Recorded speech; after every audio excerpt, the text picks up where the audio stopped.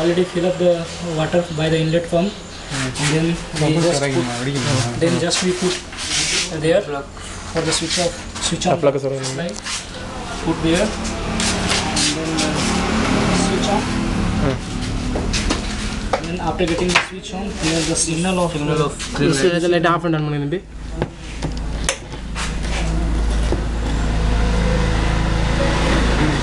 I'm running. Here. Signal comes for AC/DC supply. Okay. Then then this bottle in which the uh, in which the soap water is there. We just collect the hydrogen from this pipe and this bottle. After that we will check whether it, the hydrogen is coming or not by flashing it.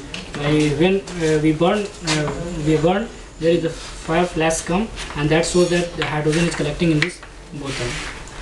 So now the hydrogen is coming from the electrolyzer kit the level of doubt uh, coming coming coming coming uh. yeah now now we'll check no no uh, please uh, repeat repeat repeat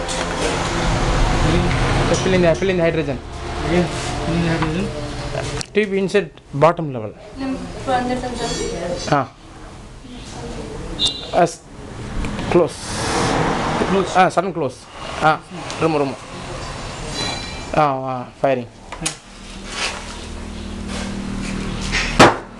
firing This shows that hydrogen is inside this water and uh, this is, this is the aim for producing hydrogen from the electrolyzer kit.